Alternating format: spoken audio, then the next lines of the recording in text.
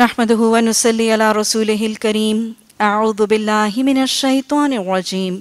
بسم الله الرحمن الرحيم. رب اشرح لي صدري ويسر لي أمري واحلل عقدة من لساني يفقه قولي واجعل لي وزيرا من أهلي. آمین ثم آمین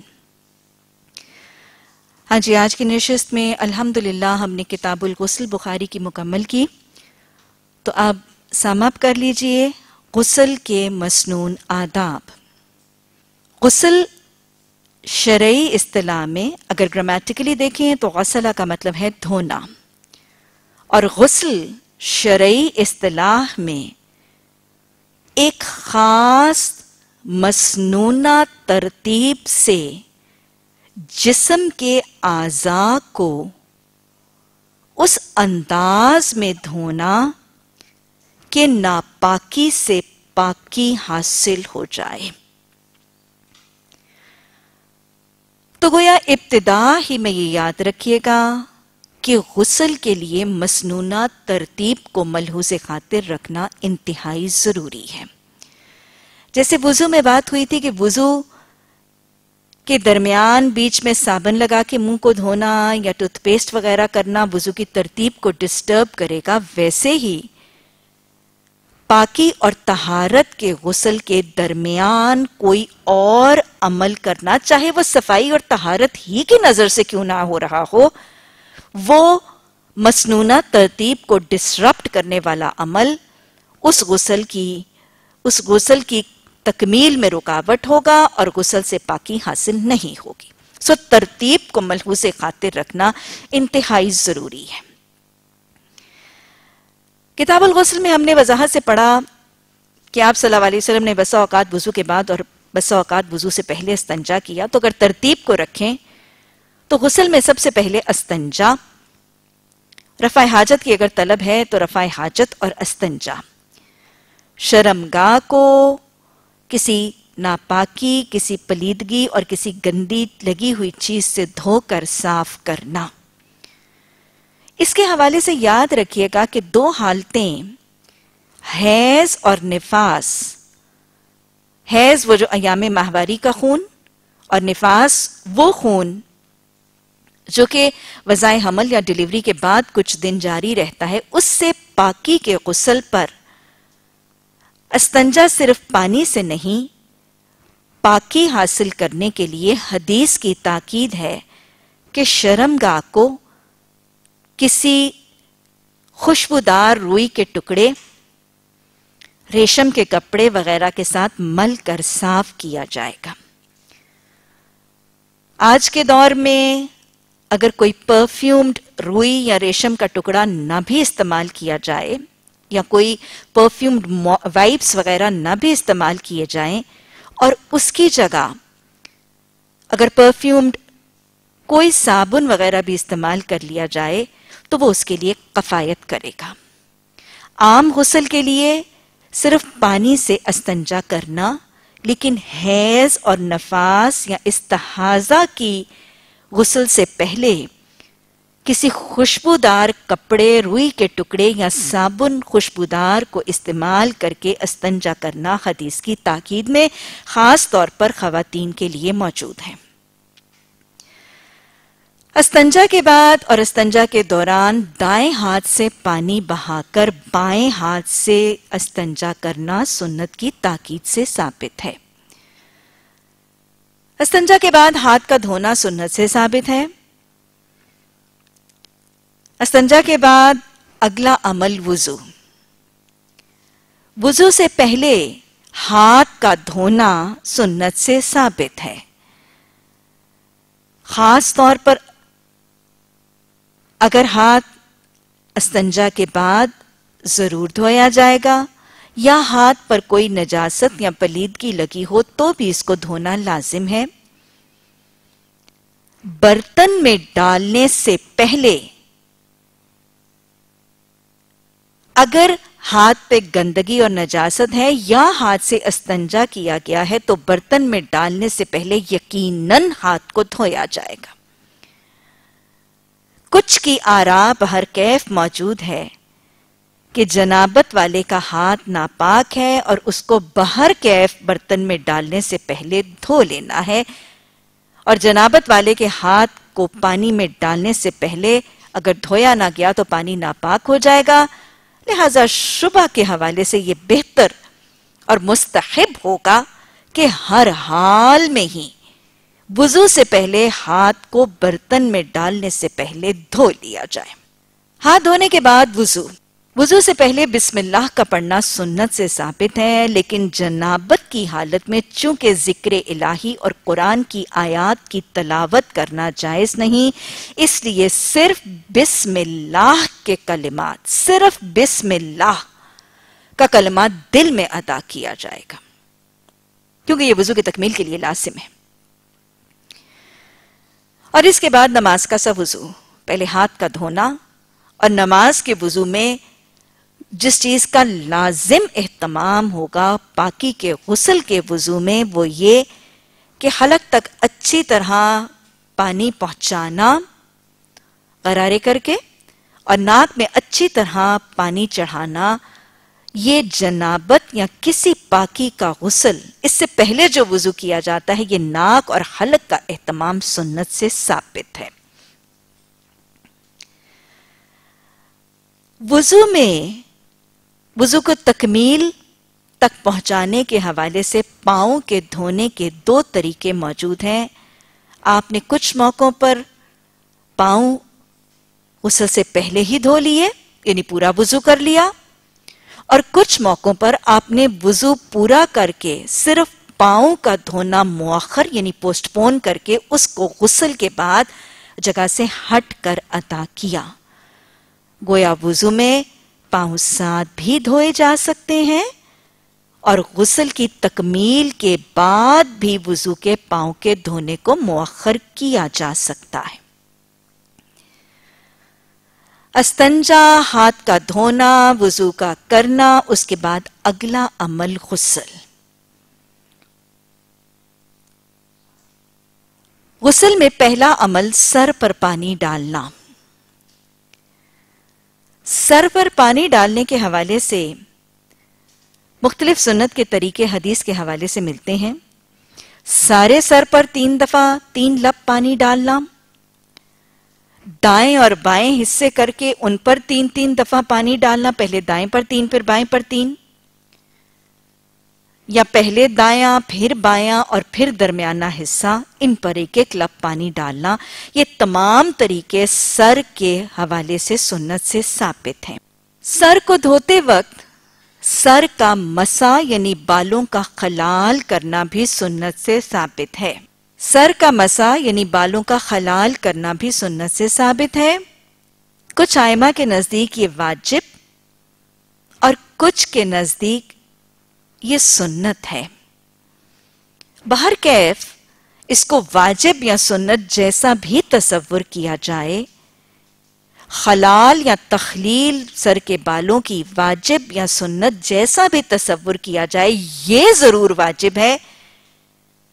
کہ سر کی جلد اور بالوں کی جڑوں تک پانی ضرور تری پہنچائے۔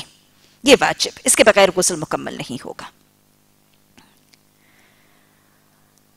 سر کے دھونے کے حوالے سے ایک لچک جنابت کے حوالے سے موجود ہے۔ وہ خواتین جن کے سر کے بال بہت باریکی اور اہتمام سے گوند دیے جاتے ہیں۔ جیسے وہ مینٹیاں وغیرہ بنائی جاتی ہیں، گوندے جانے والے بال اگر جنابت کے غسل سے پہلے نہ کھولے جا سکیں یعنی مجبوری کی حالت ہے۔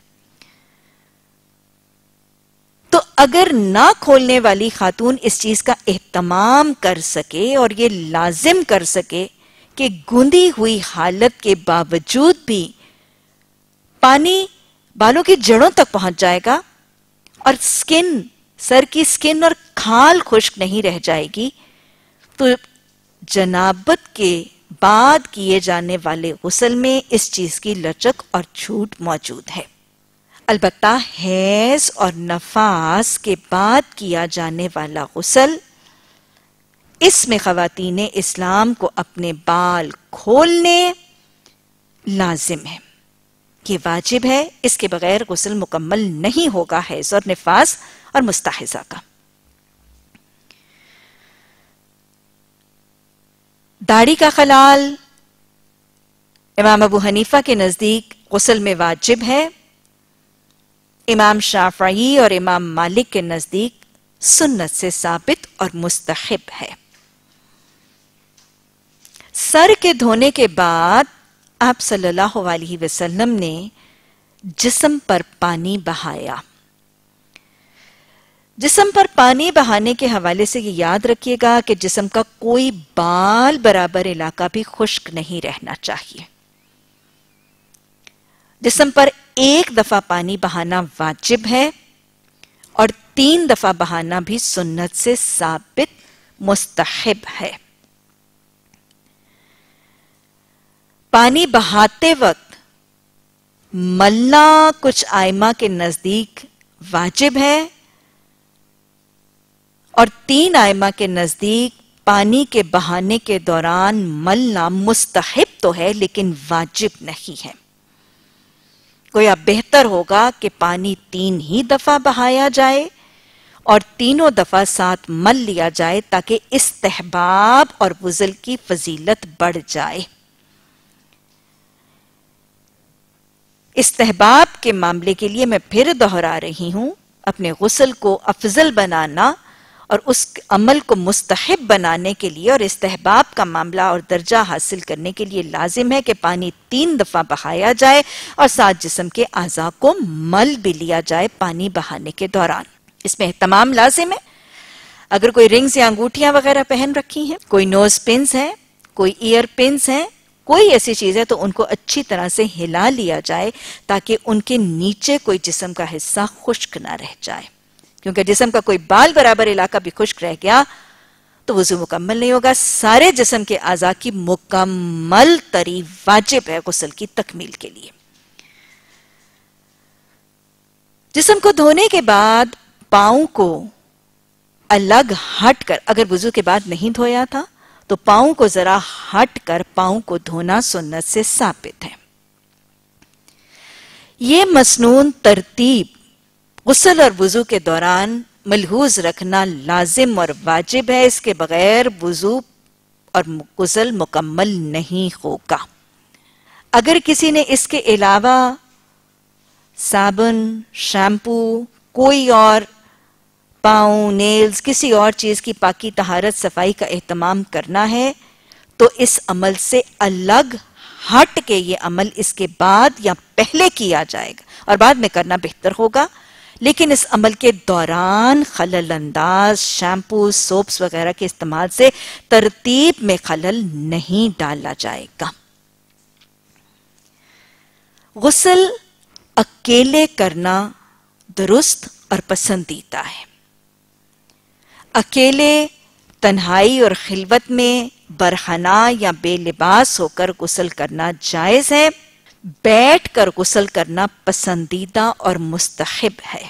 کھڑے ہو کر غسل کرنے کی اجازت موجود ہے، لیکن بیٹھ کر غسل کرنا پسندیدہ اور مستحب ہے۔ تنہائی میں بھی سطر کو ڈھانپنے کا اہتمام افضل ہوگا۔ مل جل کر نہانا، حمام وغیرہ کا یہ تصور پسندیدہ نہیں ہے۔ مجبوری کی حالات میں اگر یہ ضروری ہو جائے، تو پھر اس میں سطر کو ڈھانپنا اور پردے کا اہتمام لازم ہے۔ غسل کے دوران پردہ، اوٹ کا اہتمام سنت میں معقدہ ہے۔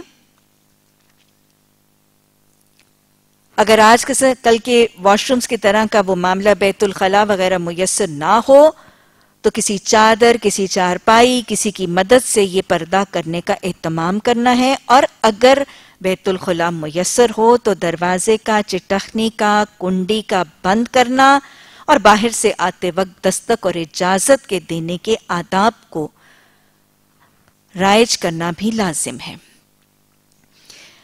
غسل کے لیے بیت الخلا میں قیام بغیر وجہ کے طویل کرنا ناپسندیدہ ہے۔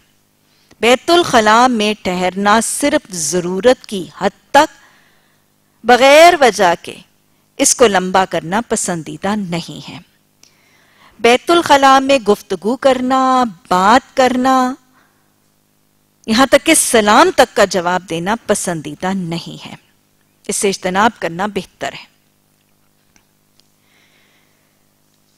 کچھ حالتیں برتن، کسی بھی برتن سے غسل کیا جا سکتا ہے۔ کم از کم پانی جس سے نبی صلی اللہ علیہ وسلم غسل فرماتے تھے، وہ ایک سا پانی۔ ایک سا پانی جو آج ہماری مقدار میں تقریباً پونے تین سیر کے برابر ہے، آپ نے کم از کم اتنے پانی سے غسل فرمایا۔ اس سے زیادہ پانی استعمال کیا جا سکتا ہے۔ لیکن اسراف وقت اور پانی کے اسراف سے بچنا بہر قیف بہتر ہے۔ غسل کے دوران خوشبو کا استعمال کرنا۔ خلاب وغیرہ کے حوالے سے جو ہم نے حدیث پڑھی کہ آپ صلی اللہ علیہ وسلم نے پانی منگوایا اور اس میں خلاب منگوایا، تو خوشبو وغیرہ کا استعمال کرنا نبی صلی اللہ علیہ وسلم کی سنت سے ثابت ہے۔ وضو، غسل کب واجب ہے؟ جنابت کی ناپاکی، ازواجی تعلق، مجامعت، مباشرت جنابت کی ناپاکی کے بعد غسل واجب ہے۔ جنابت کی حالت میں اگر منی خارج نہ بھی ہو اور انزال نہ بھی ہو اور صرف عزو خاص کا شرمگاہ میں دخول کا معاملہ ہو، تب بھی غسل واجب ہے۔ کچھ احادیث جو اس کو واجب نہیں قرار دیتی، وہ احادیث اب منسوخ ہیں۔ وہ احادیث ابتدائی مراحل کی ہیں اور وہ بعد میں آنے والے حدیث کے واقعات کے حوالے سے منسوخ ہیں۔ جنابت کی ناپاکی کے بعد وضو فوراً کرنا سنت رسول صلی اللہ علیہ وسلم سے ثابت ہے۔ وضو کرنے کے بعد سونا، کوئی مجبوری کے تحت کوئی ذاتی کام کرنا، نکلنا، ملنا جننا آنا جانا جائز ہے لیکن پسندیدہ نہیں۔ مجبوری کی حالت میں یہ عمل اپنایا جا سکتا ہے۔ حت الامکان جلدی کر کے، غسل کر کے، پاکی کا حاصل کرنا مستحب۔ اور نبی صلی اللہ علیہ وسلم کا طریقہ ہے۔ جنابت کے بعد سونے سے پہلے غسل کرنا سنت کا طریقہ ہے۔ لیکن بغیر غسل اور وضو کرنے کے بعد سونے کی لچک موجود ہے۔ جنابت کے بعد غسل میں، جیسے میں نے بالوں کے حوالے سے کہا، اگر کوئی بال نہ کھول پائے تو لچک موجود ہے، بشرطے کے تھال سر کی تر ہو جائے۔ دو جمع کے درمیان کم از کم وضو، ورنہ دو جمع کے درمیان غسل کرنا مستحب ہے۔ لیکن اگر دو دفعہ مجامعت کرنے کے درمیان اگر غسل نہ بھی کیا گیا تو لچک موجود ہے۔ دوسری حالت، احتلام۔ احتلام۔ مرد اور عورت جس کو احتلام کی کیفیت ہو، اور حدیث کے الفاظ ہے اگر تو تری پائے، یا تو تری نہ پائے اور تجھے اس کا علم ہو جائے۔ تو احتلام کے بعد بھی یہ ناپاکی کو دور کرنے کے لیے غسل واجب ہے۔ حیض، نفاس کی پاکی حاصل کرنے کے لیے غسل فائزہ تو ہرنا جب وہ اچھی طرح سے پاک ہو جائیں۔ جب کسی قسم کی رتوبت میں رنگت نہ رہے تو یہ غسل جلد از جلد کرنا واجب ہے۔ نفاس اور حیض سے پاک ہونے کے بعد اس عمل میں تاخیر کرنا، نمازوں کی کوتاہی، سستی اور کاہلی کا طریقہ اختیار کرنا، یہ فرض کی کوتاہی ہوگی۔ مستحائزہ کے لیے بھی بال کھول کر غسل کرنے کا طریقہ اور میت کا غسل دینے والی یا میت کا غسل دینے والا مرد، اس کے لیے مستحب ہے کہ وہ غسل کرے، واجب نہیں ہے۔ میت کو غسل دینے کے بعد غسل کرنا مستحب ہے، معقدہ ہے، لیکن اگر مجبوری کے تحت غسل نہ کیا جا رہا، کیا جا سکتا ہو فوری طور پر تو وضو ادا کر کے نماز ادا کی جا سکتی ہے، لیکن قریبی ترین سہولت اور آسانی میں غسل کا کر لینا مستحب ہوگا۔ جیسے وضو کے حوالے سے ہم نے دیکھا کہ نواقص الوضو میں وضو کی پاکی حاصل کرنے کے لیے تیمم کفایت کرتا تھا۔ اسی طرح اگر پاک پانی میسر نہ ہو یا پانی ہی میسر نہ ہو یا پانی کا استعمال کرنا صحت، کسی زخم، کسی بیماری کے لیے ضرر رساں یا نقصان دہ ثابت ہونے کا امکان ہو۔ تو پانی کی جگہ، باقاعدہ غسل کی جگہ تیمم غسل کے لیے بھی کافی ہوگا۔